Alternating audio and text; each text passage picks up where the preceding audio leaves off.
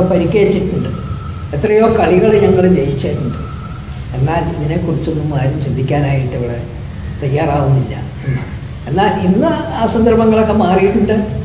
ഇന്ന് വിവിധ വ്യവസായ ഗ്രൂപ്പുകൾ തന്നെ അവരുടേതായിട്ടുള്ള ക്ലബ്ബുകൾ രൂപീകരിച്ച് കളിക്കാരെ നല്ല ഫുട്ബോൾ കളിക്കാരെ കണ്ടെത്തി അവരെല്ലാം ആ ക്ലബ്ബുകളിൽ പ്രവേശിപ്പിച്ച് അവർക്ക് ലക്ഷങ്ങളല്ല കോടികളും കൂടി കൊടുക്കാൻ തയ്യാറായി വരുന്ന ഒരു അവസ്ഥ ആണ്. എന്നാൽ ഈ പഴയ കാലത്തെ കളിക്കാർ അവരിൽ ഇന്നും ആരെങ്കിലുമൊക്കെ ജീവിച്ചിരിക്കുന്നുണ്ടെങ്കിൽ അവർക്ക് വേണ്ടി ഗവൺമെന്റ് എന്തെങ്കിലും ചെയ്യേണ്ടതായിട്ടുള്ളത് വളരെ ആവശ്യമാണ്. ഇന്ത്യ ഗവൺമെന്റ് ഈ കാര്യങ്ങളിലെല്ലാം വളരെ ശ്രദ്ധിക്കണം. നമ്മുടെ കായിക രംഗം അഭിവൃദ്ധിപ്പെടണമെങ്കിൽ ഇങ്ങനെ ഉള്ളതായിട്ടുള്ള പ്രോത്സാഹനങ്ങൾ നമ്മൾ നൽകാൻ തയ്യാറാവണം. അത് നമ്മുടെ ധാർമ്മികമായിട്ടുള്ള ഒരു ഉത്തരവാദിത്തമാണ്. ഇപ്പോൾ കളിക്കുന്നവരൊക്കെ മാത്രമല്ല മുമ്പ് ഈ രാജ്യത്തിന് വേണ്ടി കളിച്ചവരും അവരും ഈ നാടിന് വേണ്ടി കളിച്ചവരാണ് അവർ നാട്ടിൽ ജനിച്ചവരാണെന്നുള്ളതായിട്ടുള്ള ഒരു ചിന്ത ഗവൺമെന്റിന് വേണ്ടതാണ്. അപ്പോൾ കാണുന്നവരെ പുകഴ്ത്തുക എന്നുള്ളത് ഒരു ഭരണകൂടത്തിനും യോജിച്ച ഒരു സംഗതി അല്ല. പിന്നീട് ഇതുപോലെ തന്നെ അന്നത്തെ ഇന്ത്യൻ ഫുട്ബോളിനെ കുറിച്ച് പറയുകയാണെങ്കിൽ അന്നത്തെ നമ്മുടെ ഗോളിയായിരുന്ന ഗോളി തങ്കരാജ് ആറടി മുഖമുള്ള തമിഴ്നാട്ടുകാരൻ. അദ്ദേഹം എത്രയോ അത്ഭുതകരമായിട്ട് വരുന്ന പെനാൽറ്റി പോലും സേവ് ചെയ്യുന്നത് നമുക്ക് കമൻട്രികളിൽ കൂടി കേൾക്കാനായിട്ട് സാധിച്ചിരുന്നു ഇതുപോലെ നിരവധി നിരവധി നല്ല കളിക്കാർ അന്നുണ്ടായിരുന്നു. ഇതിൽ ചുനി ഗോസ്വാമിയുടെ കാലം അതിനു മുമ്പും നല്ല കളിക്കാരുണ്ടായിരുന്നു. മേവാലാൽ. ഇന്ത്യ കണ്ട ഏറ്റവും പ്രശസ്തനായിട്ടുള്ള സെൻട്രൽ ഫോർവേഡ് മേവാലാലായി. അദ്ദേഹം കൽക്കട്ടയിൽ ഏതൊരു ഗവൺമെന്റ് ഉദ്യോഗസ്ഥനായിരുന്നു എന്നാണ് ഞാൻ കേട്ടത്. അദ്ദേഹം ശരിക്കും ബംഗാളിയല്ല പക്ഷെ കൽക്കട്ടയിൽ ജോലി സഹിതമായിട്ട് അദ്ദേഹം പോയ ഒരാളാണ്. ഈ മേവാലാൽ അന്നത്തെ കാലത്ത് ഇന്ത്യയുടെ സെൻട്രൽ ഫോർവേഡായിട്ട് അദ്ദേഹം നിരവധി ഗോളുകൾ അദ്ദേഹം നേടി. ഏറ്റവും മികച്ചതായിട്ടുള്ള ഒരു ഫോർവേഡായിരുന്നു മേവാലാൽ. പിന്നീട് ഈ മേവാലാലിനെ അദ്ദേഹം ഒരു സ്പോർട്സിന്റെ ഒരു ഒരിക്കൽ കൽക്കട്ടയിലെ വഴിയിൽ കൂടി സഞ്ചരിക്കുമ്പോൾ ഈ മേവാലാൽ ഒരു പെട്ടിയും തൂക്കി മുമ്പിൽ വന്നു. അപ്പോൾ അദ്ദേഹം വയസ്സനായി കഴിഞ്ഞു അവശനായി കഴിഞ്ഞു. അപ്പോൾ അദ്ദേഹത്തിനോട് സംഭാഷണം ചോദിച്ചപ്പോൾ അദ്ദേഹം പറഞ്ഞു ഞാനിപ്പോൾ ഗവൺമെന്റ് ഉദ്യോഗസ്ഥനായിരുന്നു. ഈ അടുത്ത കാലത്ത് എനിക്ക് പെൻഷൻ പറ്റി. ഇപ്പോൾ ഞാനിവിടെ അടുത്ത് തന്നെയുള്ളതായിട്ടുള്ള ഒരു ക്വാർട്ടേഴ്സിലാണ് ഞാൻ ജീവിക്കുന്നത്. അദ്ദേഹം ഒരു ഫ്ലാറ്റിലെങ്ങാണ്ടോ ആണ് ജീവിച്ചിരുന്നത്. അദ്ദേഹത്തിനെ കുറിച്ചൊന്നും ഇന്ന് നമ്മുടെ ഫുട്ബോളിനെ ഇഷ്ടപ്പെടുന്നവർ പോലും ഓർക്കാൻ പോലും തയ്യാറാവുന്നില്ല എന്നുള്ളതാണ് എനിക്ക് ഏറ്റവും അത്ഭുതമായിട്ട്. അതുപോലെ തന്നെ പീയൂഷ് ടെർക്കി അദ്ദേഹത്തിന്റെ ബൈസിക്കിൾ കിക്കുകൾ വളരെയധികം പ്രശസ്തമായി ഇന്ദർ സിംഗ് കാലുകളിൽ ഇന്ദ്രജാലം ഒളിപ്പിച്ചു വെച്ച സിക്കുകാരൻ ഇന്ദർ സിംഗ്. ഇന്ദർ സിംഗിനെ കുറിച്ച് കമൻട്രിയിൽ പറയുമ്പോൾ പറയുന്നത് കാലുകളിൽ ഇന്ദ്രജാലം ഒളിപ്പിച്ചു വെച്ച ഇന്ദർ സിംഗിന്റെ കയ്യിൽ ആ കാലിലാണ് ഇപ്പോൾ പന്ത് എന്നാണ്. പറയുന്നത് അങ്ങനെ അന്ന് ഈ കമൻട്രിയിൽ കൂടി തന്നെ ആവേശം വിതറിക്കൊണ്ട് പറയുന്നതായിട്ടുള്ള നിരവധി കമന്റേറ്റർമാരും നമുക്ക് ഉണ്ടായിരുന്നു. ഇന്ന് കമന്റേറ്റർമാർക്കുള്ള ആവശ്യമില്ല. നമുക്ക് ടി വിയുടെ മുമ്പിൽ ഇരുന്ന് കഴിഞ്ഞാൽ കളി കാണുവാൻ സാധിക്കും. അവിടെ നിന്ന് തന്നെ നേരിട്ട് കേൾക്കുവാനും സാധിക്കും. R S Kurup Nagavally R S Kurup ഇതുപോലെ തന്നെ വളരെ പ്രശസ്തമായ രീതിയിൽ കമൻട്രികൾ പറഞ്ഞിരുന്ന ആളാണ്. അങ്ങനെ ഗോളി തങ്കരാജിന്റെ കയ്യിൽ ആണ് പന്തിപ്പോൾ അദ്ദേഹം ആ പന്ത് നീട്ടി അടിച്ചു. അത് ആകാശത്തിൽ കൂടി ഒരു സർപ്പത്തിന്റെ പോലെ വളഞ്ഞ് പുളഞ്ഞ് പോയി. മധ്യരേഖയും കഴിഞ്ഞ് ചോട്ടിലേക്ക് വരികയാണ്. ഇതാ വീണ്ടും അവിടെ പന്ത് ഹെഡ് ചെയ്തിരിക്കുന്നു. ആ ഹെഡ് മറ്റൊരാൾ തടഞ്ഞു. ഇങ്ങനെ അദ്ദേഹത്തിന്റെ കമൻട്രികൾ വളരെ മനോഹരമായിട്ടുള്ള ഇങ്ങനെ നീണ്ട് പോയിക്കൊണ്ടിരിക്കുന്നതായിട്ടുള്ള ഒരു സന്ദർഭം ഞാനിന്നും ഓർക്കുകയാണ്. ക്രിക്കറ്റിനെ കുറിച്ചും ഇതുപോലെ തന്നെ ഇവരെല്ലാം പറഞ്ഞു.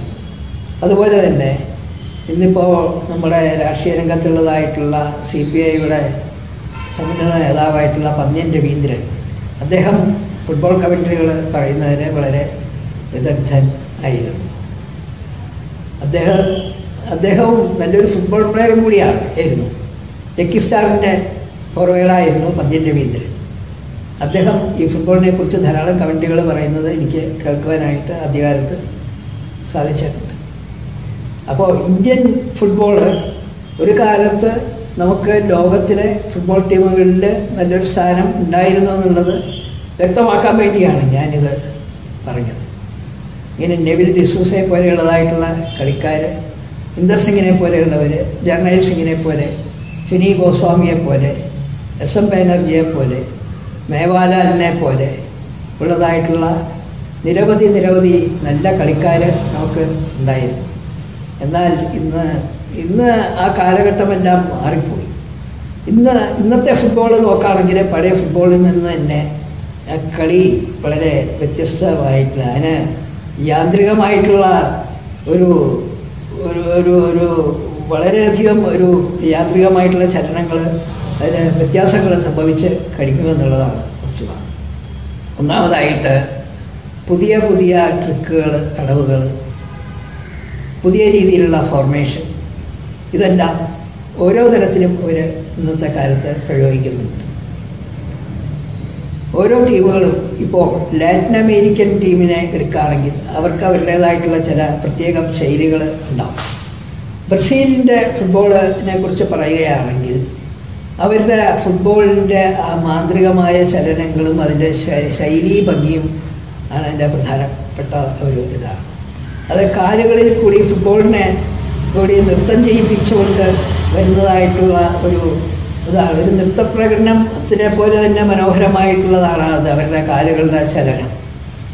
അപ്പോൾ ആ കാണികൾക്ക് അത്രയ്ക്കധികം ആഹ്ലാദം പകരുന്നതായിട്ടുള്ള ഒരു സവിശേഷമായ പ്രത്യേകത ഈ ലാറ്റിൻ അമേരിക്കൻ ഫുട്ബോളിന് ഉണ്ട്.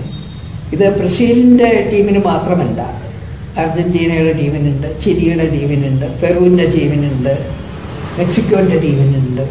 ഇവരെല്ലാവരും നല്ല കളിക്കാർ തന്നെയാണ്. അവിടെ ഫുട്ബോൾ എന്ന് വെച്ചിട്ടുണ്ടെങ്കിൽ അവരുടെ ജീവിതത്തിന്റെ ഒരു ഭാഗമാണ്. ഒരു കുട്ടി എഴുന്നേറ്റ് നടക്കുവാൻ കഴിയും കഴിഞ്ഞ ഉടനെ തന്നെ അവൻ പന്ത് തട്ടിക്കൊണ്ടാണ് നടക്കുന്നത്. വഴിയിലെല്ലാം ദിവസവും പത്ത് തട്ടുന്ന നിരവധി നിരവധി ചെറുപ്പക്കാരെ കാണും. അവിടുത്തെ ചെറുപ്പക്കാരന്റെ ആഗ്രഹം ഒരു ഡോക്ടറാവണമെന്നോ എഞ്ചിനീയർ ആവണമെന്നോ ഒന്നും ആയിരിക്കില്ല. ഞാൻ ലോകത്തിലെ ഏറ്റവും വലിയൊരു ഫുട്ബോൾ പ്ലെയർ ആവണം എന്നുള്ളതായിരിക്കും അവരുടെ ഏറ്റവും വലിയൊരു ചിന്താഗതി. ഇപ്പോൾ പെലയെ പോലെയുള്ളതായിട്ടുള്ള പ്രതിഭാശാലിയായിട്ടുള്ള ഒരു ഫുട്ബോൾ കളിക്കാരൻ അദ്ദേഹം വളരെ ദരിദ്രമായ പരിസ്ഥിതിയിൽ ജനിച്ചു വളർന്ന ഒരാളാണ്. പക്ഷേ ഈ ഫുട്ബോളിൽ കൂടി അദ്ദേഹം ജനഹൃദയങ്ങൾ കീഴടക്കി ലോകത്തിന്റെ മുഴുവൻ ആരാധന പാത്രമായിട്ട് മാറി എന്നുള്ളതാണ്. അദ്ദേഹത്തിന്റെ ബൈസിക്കിൾ കിക്കുകളും ആ കളിയിൽ അദ്ദേഹം കാണിച്ചതായിട്ടുള്ള അത്ഭുതങ്ങളും ഇന്നും വർണനാതീതമാണ്. ഇന്നും ഇന്ന് ഇന്ന് ഇന്നത്തെ ഫുട്ബോൾ അത് നോക്കുമ്പോൾ അതിനേക്കാളെല്ലാം കൂടുതൽ കൂടുതൽ സാങ്കേതികമായിട്ട് കൂടുതൽ മികവോടുകൂടിയാണ് പലരും അവതരിപ്പിക്കുന്നത്. അതുപോലെ തന്നെ ഫുട്ബോളിൽ തന്നെ യൂറോപ്യൻ ഫുട്ബോളിന്റെ ഒഴിവുണ്ട് ലാറ്റിൻ അമേരിക്കൻ ഫുട്ബോളുണ്ട് ലാറ്റിൻ അമേരിക്കൻ ഫുട്ബോളുകാർക്ക് അവർക്ക് അവരുടേതായിട്ടുള്ളൊരു ശൈലിയുണ്ട്. അതിന്റെ സംഗീതാത്മകമായിട്ടുള്ള സാമ്പാത്താളത്തോടു കൂടിയാണ് അവരെ പന്തുകൾ മുന്നോട്ട് കൊണ്ടുപോകുന്നത് ഒക്കെ. ഈ സാമ്പ നൃത്തത്തിന്റെ ചടങ്ങുകൾ അത് നമ്മുടെ ബാൽക്കണിയിൽ അതിന്റെ വാദ്യമേളങ്ങൾ പൊടിപൊടിക്കുന്ന അവസരത്തിൽ ഇവിടെ അവരുടെ കാലുമല കൂടി കാലിൽ നിന്നും കാലിലേക്കും തലയിൽ നിന്നും തലയിലേക്കും പന്ത് ഇങ്ങനെ മാറിക്കൊണ്ടിരിക്കും. ഒരു നൃത്തക്കാരന്റെ ആ ഒരു പ്രാഗൽഭ്യത്തോടു കൂടിയാണ് അവർ ഗ്രൗണ്ടിൽ നിരക്കുന്നത്. എന്നാൽ യൂറോപ്യൻ ഫുട്ബോളിനെ കുറിച്ച് പറയുകയാണെങ്കിൽ ടോട്ടൽ ഫുട്ബോൾ എന്നുള്ളതായിട്ടുള്ള ഒരു ശൈലിയാണ്. ഇങ്ങനെ കളി ജയിക്കുക എന്നുള്ളതാണ് അവരുടെ പ്രധാന ലക്ഷ്യം. അതാ. അപ്പോൾ കൂടുതൽ ആക്രമണോത്സുകത ആ ഫുട്ബോളിനെ അവർ കൊടുക്കുന്നുണ്ടെന്നുള്ളതാണ് വളരെ വസ്തുത. ഇന്നിപ്പോൾ കാണുന്നതായിട്ടുള്ള പ്രമുഖ കളിക്കാരെ നോക്കുകയാണെങ്കിൽ നമ്മുടെ അർജന്റീന അർജന്റീനയുടെ കളി മെസ്സിയുടെ കളി. പക്ഷേ അർജന്റീനയ്ക്ക് അവിചാരിതമായിട്ടുള്ളൊരു വലിയ തോൽവി സംഭവിച്ചു. അതുകൊണ്ട് തന്നെ അർജന്റീനയുടെ ആരാധകർ ഇന്ന് നിരാശരാണ്. കേരളത്തിൽ തന്നെ ഏതൊരു ചെറുപ്പക്കാരൻ ഇതുപോലെ തന്നെ വീട്ടിൽ നിന്ന് ഇറങ്ങിപ്പോയി എന്ന് ഇന്ന് പേപ്പറിൽ വായിച്ചു. ഇനിയും ധാരാളം പേര് ആത്മഹത്യ ചെയ്യാനൊക്കെ ഇടയുണ്ടെന്നാണ് കേൾക്കുന്നത്. അപ്പോൾ ഈ ഇന്നും ഇന്നത്തെ ന്യൂസ് പ്രധാനപ്പെട്ട ന്യൂസ് ഈ ഇറങ്ങിപ്പോയ ചെറുപ്പക്കാരൻ രാത്രി മുഴുവനും അർജന്റീനയുടെ കളി കണ്ടിരുന്നു എന്നുള്ളതാണ്. അത് കഴിഞ്ഞിട്ട് അതിന്റെ ലൈറ്റിൽ റൂമിൽ ലൈറ്റ് ഉണ്ടായിരുന്നു. വെളുപ്പങ്കാരൻ നോക്കിയപ്പോൾ ലൈറ്റ് ഉണ്ട് പക്ഷെ ആളില്ല. ആളെവിടെയോ പോയി. ഇപ്പോൾ കേരളത്തിന്റെ ആ ഭാഗത്തുള്ള പുഴയിൽ മുഴുവനും മുങ്ങിത്തപ്പിക്കൊണ്ടിരിക്കുകയാണ് ആൾക്കാർ. അപ്പോൾ അതിൽ മെസ്സിയുടെ പടമാണ്. ആ റൂം മുഴുവനും മെസ്സിയുടെ പടങ്ങളാണ് വച്ചേക്കുന്നതെന്നാണ് പറയുന്നത്. അപ്പോൾ മെസ്സിയുടെ ഒരു അന്ധനായിട്ടുള്ള ഒരു ആരാധകനായിട്ട് മാറി മെസ്സി ഒരു ഭ്രാന്തമാതിരി പിടികൂടി എന്നാണ് പറയുന്നത്. അപ്പോൾ അത്തരത്തിലുള്ളതായിട്ടുള്ള ഒരു നമ്മുടെ മലയാളി യുവസമൂഹത്തിന്റെ ഇടയ്ക്ക് ഭ്രാന്തമായിട്ടുള്ള അനുകരണ ഭ്രമങ്ങൾ വർദ്ധിച്ചുകൊണ്ട് ഇരിക്കുന്നുണ്ട്. എന്നുള്ളത് ഒരു വസ്തുതയാണ്. ഇത് നമ്മൾ നമ്മൾക്ക് അതിന്റെ അടുത്ത് പോലും എത്താൻ കഴിഞ്ഞില്ല എന്നുള്ളത് വേറെ വസ്തുത. എങ്കിലും നമ്മൾ ഇവിടെ ഇരുന്ന് ഇതിനോട് ഭ്രാന്തമായിട്ടുള്ള അനുഭൂതി പ്രകടിപ്പിക്കുകയും പലരും ആത്മഹത്യയുടെ വക്കിൽ വരെ എത്തുകയും ചെയ്തതായിട്ടുള്ള സന്ദർഭങ്ങളാണ് ഇന്ന് നിലനിൽക്കുന്നത്. ഇനി ലോകകപ്പ് ഇനിയും മുന്നോട്ട് പോകുമ്പോൾ കേരളത്തിൽ എത്ര ആത്മഹത്യകൾ സംഭവിക്കുമെന്നുള്ളത് നമുക്ക് പറയാൻ സാധിക്കുകയില്ല ഇതിൽ മറ്റൊരു പ്രധാനപ്പെട്ട കാര്യം. ഇന്ന് നടക്കുന്നതായിട്ടുള്ള ഈ ഫുട്ബോൾ മത്സരങ്ങളിൽ ഏറ്റവും പ്രധാനപ്പെട്ടത് പല പ്രമുഖ ടീമുകളും ഇതുപോലെ തന്നെ അവിചാരിതമായിട്ടുള്ള പരാജയങ്ങൾ സംഭവിച്ച് പിന്മാറേണ്ടത് വന്നു.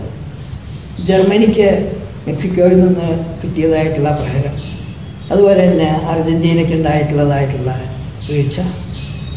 ഇങ്ങനെ നമ്മൾ ഒരിക്കലും പ്രതീക്ഷിക്കാത്ത രീതിയിലുള്ളതായിട്ടുള്ള പരാജയങ്ങൾ ഇവർക്ക് സംഭവിക്കുന്നുണ്ട്. അതുകൊണ്ട് ഏത് ടീമാണ് ഏറ്റവും വലുതെന്നൊന്നും നമുക്ക് പറയാനായിട്ട് സാധിക്കില്ല എല്ലാ ടീമിലും ധാരാളം പ്രഗത്ഭരായിട്ടുള്ള കളിക്കാരുണ്ട്.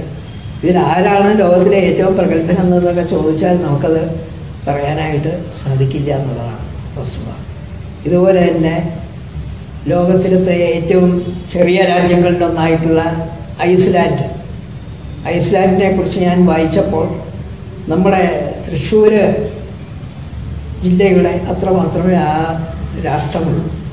അവിടുത്തെ ജനസംഖ്യ മൂന്ന് ലക്ഷമാണ്.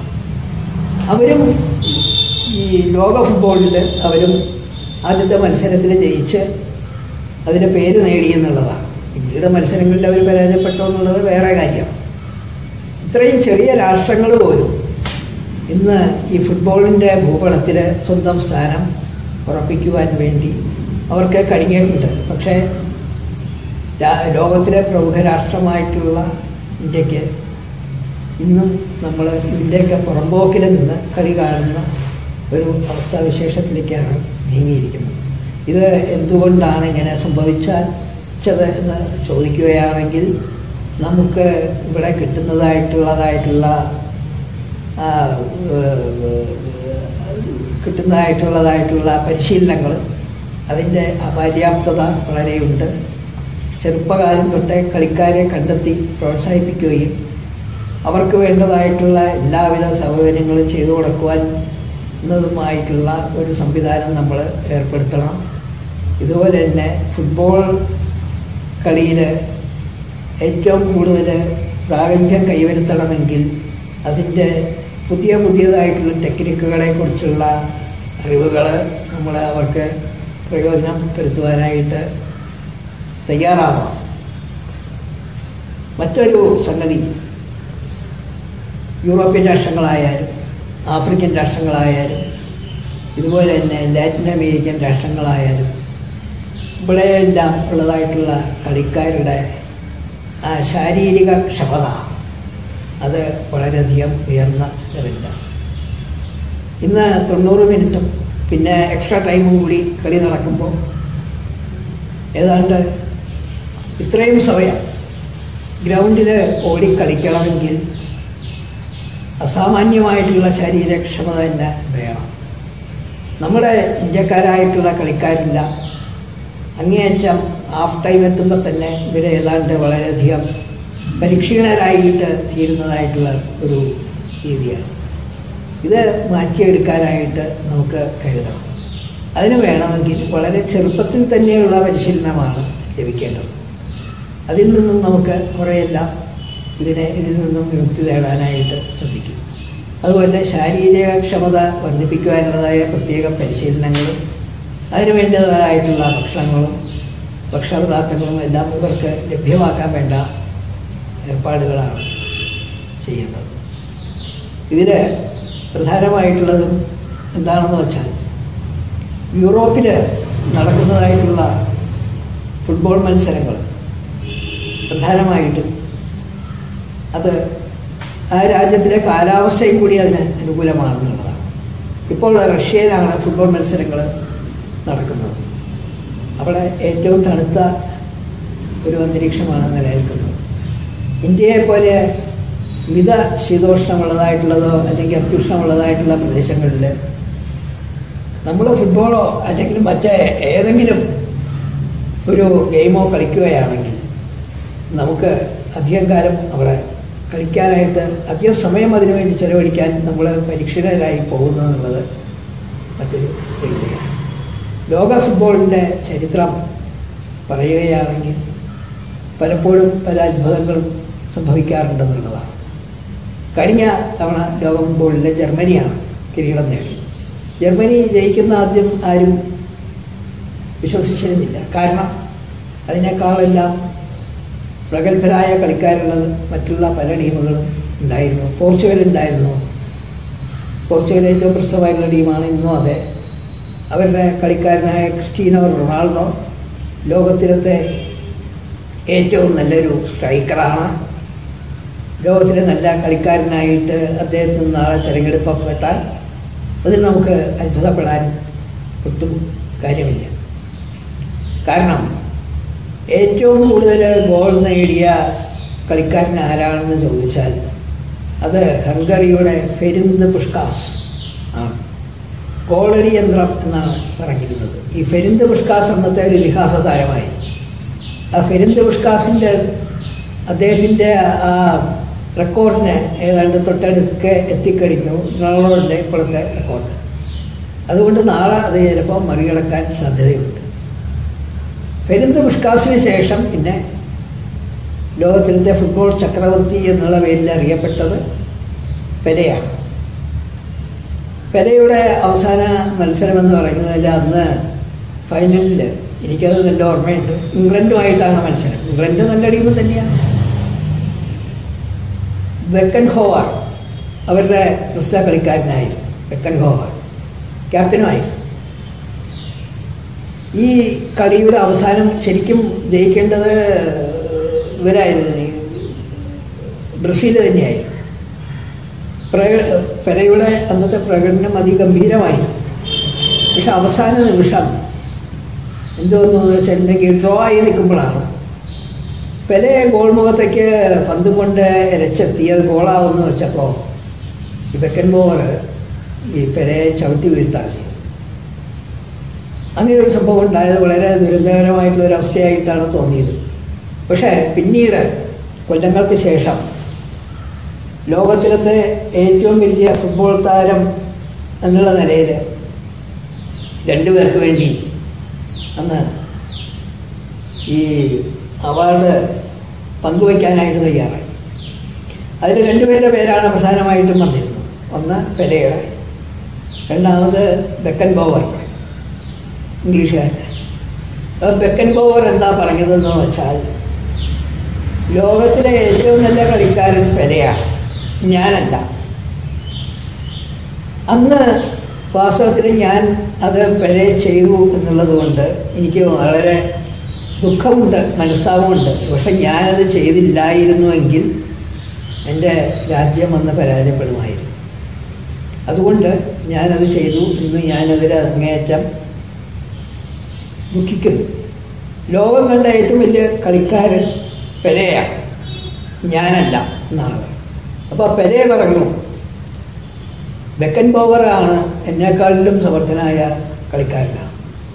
അദ്ദേഹവും ഇതിന് തീർച്ചയായിട്ടും അർഹനാണ്. അതുകൊണ്ട് ബെക്കൻ ബോവറിനാണ് അത് കൊടുക്കേണ്ടതെന്ന് പെലെ പറഞ്ഞു. അപ്പോൾ രണ്ടുപേർക്കുമായിട്ട് അത് വാങ്ങിച്ചു പിന്നെ. രണ്ടുപേർക്കുമായിട്ടാണ് അത് ആ സമ്മാനം കൊടുത്തത്. ഇതാണ് അതിന്റെ ഒരു വലിയ ചരിത്രം.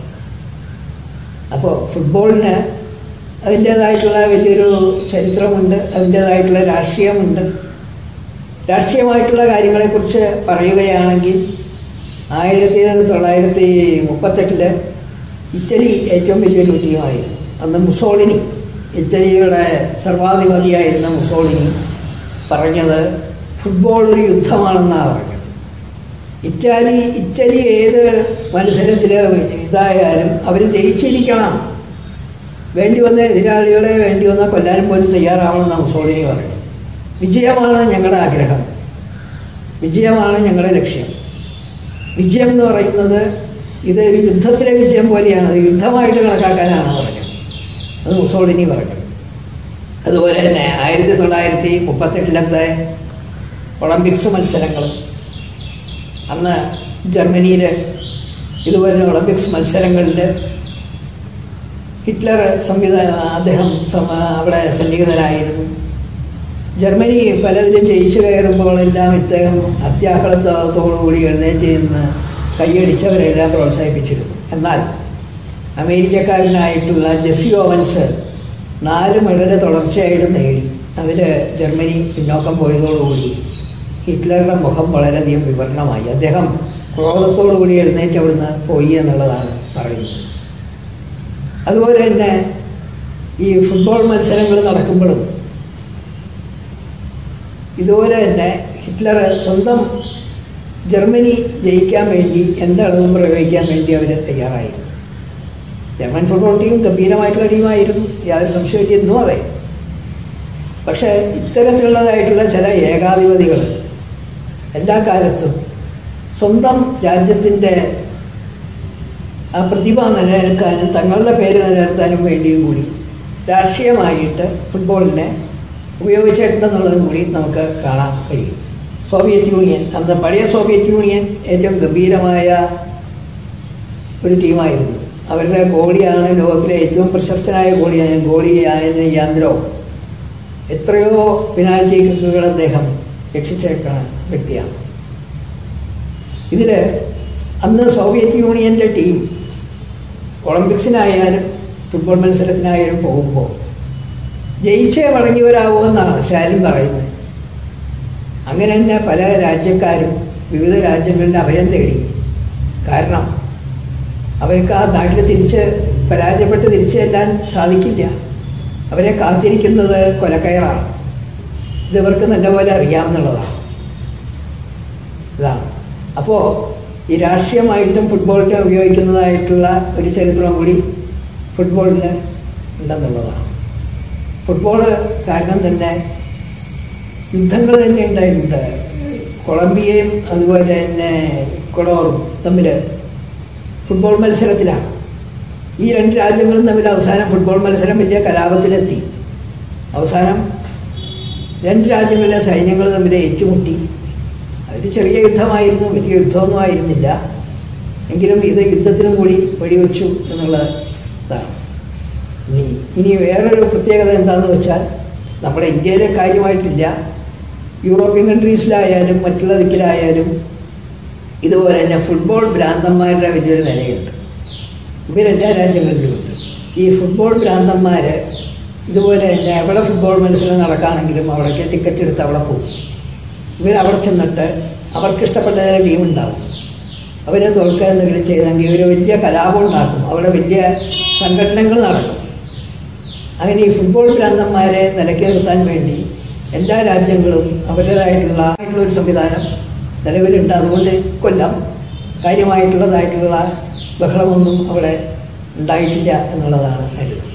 ഇവരെ ഫുട്ബോൾ ഭ്രാന്തന്മാരെ ഫുട്ബോൾ റൗഡികളെന്നും പറയുന്നുണ്ട്. ഇവർ എന്ത് റൗഡിത്തരവും അവിടെ കാണിക്കാൻ കലാപങ്ങൾ അടിച്ചുവിടാൻ തയ്യാറാവുന്നുള്ളതാണ്. ഇത്തരത്തിലുള്ള കുറേ ആൾക്കാർ ഉണ്ട്. ഇനിയിപ്പോൾ നമ്മുടെ നാട്ടിലും നാളെ ഒരു പക്ഷേ ഇതൊക്കെ ഉണ്ടാവാൻ സാധ്യതയുണ്ട്. ഇവിടെ ഉണ്ടാവുകയാണെങ്കിൽ തന്നെ അത് മലബാർ ഭാഗത്ത് ഉണ്ടാവാനായിട്ട് സാധ്യത. കാരണം ഫുട്ബോളിനെ ഏറ്റവും സ്നേഹിക്കുന്നവർ ആ ഭാഗത്തുള്ളവരാണ്. അത്രത്തോളം ആവശ്യത്തോടു കൂടി ഫുട്ബോൾ കാണുന്നവരും കളിക്കുന്നവരും നമ്മുടെ കൊച്ചി മേഖലയിലോ തിരുവിതാംകൂർ മേഖലയിലോ കാണുവാൻ കഴിയില്ല. കേരളത്തിലെ സംബന്ധിച്ചിടത്തോളം ഫുട്ബോളിന്റെ ഏറ്റവും വലിയ കേന്ദ്രങ്ങളാണ് കോഴിക്കോടും മലപ്പുറം കണ്ണൂരുമെല്ലാം ഇവിടെ നിന്നാണ് നമ്മുടെ ഫുട്ബോളിലെ പ്രമുഖ താരങ്ങൾ അധികവും വളർന്നു വന്നേക്കുന്നത്.